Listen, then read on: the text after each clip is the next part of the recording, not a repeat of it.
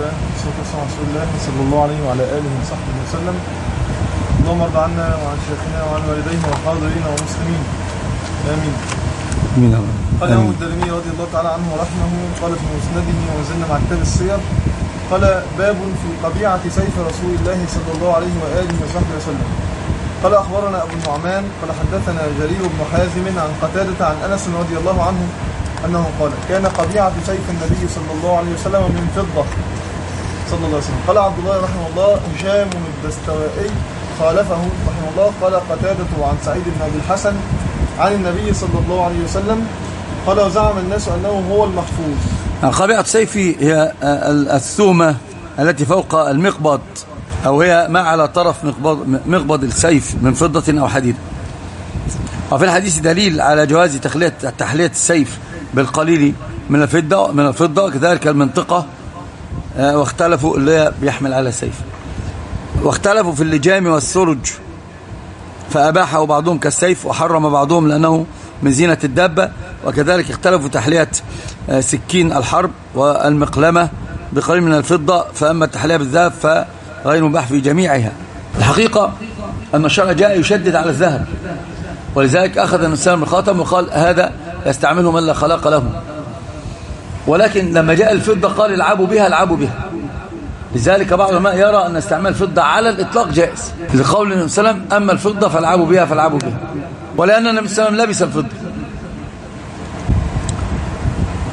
والبعض قال الفضة حرام.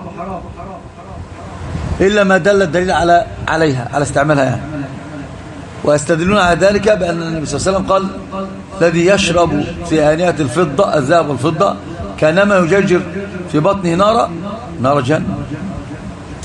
وهذا وعيد وعيد شديد أكيد يدل على الحرمة. والأسلم من ذلك التجنب وعدم استخدام الفضة كالمفاتيح الفضة والملعقة الفضة.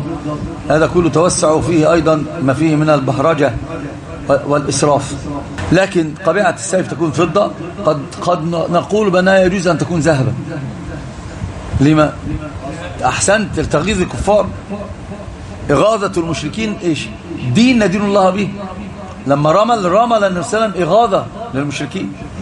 لما لما ربط أبو دجانة عصابة على العصابة الحمراء ويسمونها في الأنصار عصابة الموت. ربطها وأخذ سيف النبي يتبختر به بين الصفين. النبي تعجب وقال إن هذه مشية يبغضها الله جل في علاه إلا إلا في هذا الموضع إلا في هذا الموضع. نعم. ورد في البخاري عن سلمان بن حبيب قال سمعت أبا أمامة يقول لقد فتح فتح الفتوح قوم أو فتح الفتوح قوم ما كانت حلية سيوفهم الذهب ولا الفضة إنما كانت حليتهم من إيش؟ العلابي والأنك قال ابن قدامة لا بقبعة السيف من فضة لما روى أنس وذكر الحديث. وقال شاب بن عروة كان سيف الزبير محلى بالفضة أنا رأيته. قلنا هذا إن لم يكن فيه إلا غاط كافرين لكفى أما الحديث الذي جاء أنهم كانوا يفتحون الفتوح ما كانت حالة سيوفهم الذهب ولا الفضة. هذا حديث رواه البخاري في زمن عمر بن عبد العزيز يروى عن الصحابي الجليل أبي أمامة أنه قال لقد فتح الفتوح قوم. يتحدث عن الصحابة رضي الله, رضي الله عنهم. فيصف أسلحتهم ما كان حلة سيوفهم الذهب ولا الفضة إنما كانت حلتهم العلابي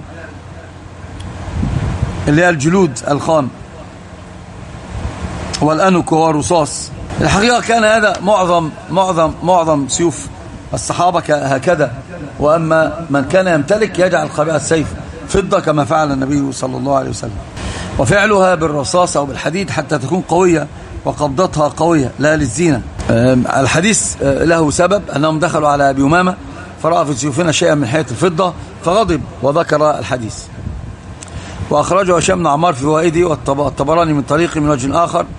ومن وجه آخر عن سليمان بن أبي حبيب قال نزلنا حمص قافلين من الروم راجعين من غزوة الروم فإذا فإذا عبد الله بن أبي زكريا ومكحول فانطلق فانطلقنا إلى أبي أمامة يعني الصحابة فإذا هو شيخ هرم فلما تكلم إذا رجل يبلغ حاجته حاجتهم.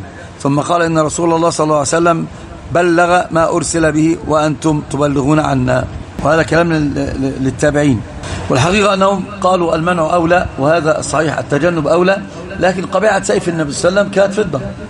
فمن عارض ذلك فقد تنطع. وكان ذلك الإرهاب العدو وتكسير تكسير نفسيات ومعنويات العدو. يقول لك الناس أصلا إيه ده؟ ده سيوفهم من الذهب والفضة. ده امتلكوا الدنيا بأسرها.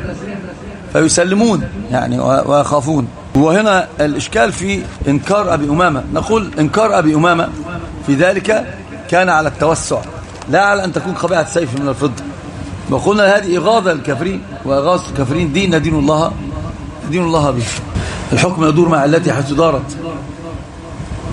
فرق بين العام الذي يوقع على عمومه والعام المخصوص. قال الذي يشرب في ناء الفضة كانما يوجد في بطن نار جهنم. هذا تعميم بالتحريم. وخص بهذه الأدلة والأحاديث. إغاظة الكفار دين دين الله به.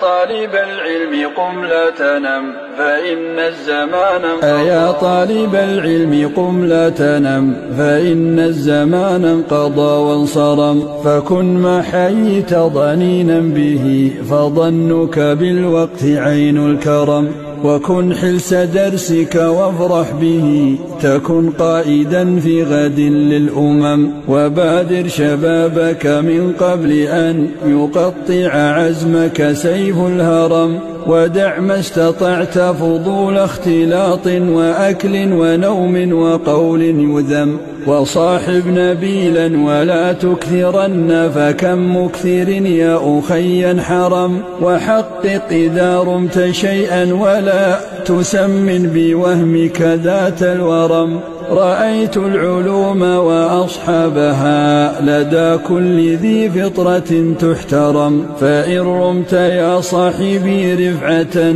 بدنيا وأخرى فلذ بالقلم وأخلص لربك واعمل بما علمت وإن تلقى فيه الألم. وصابر وثابر ولا تكسلا فإن الهموم بقدر الهمم. فإن الهموم بقدر الهمم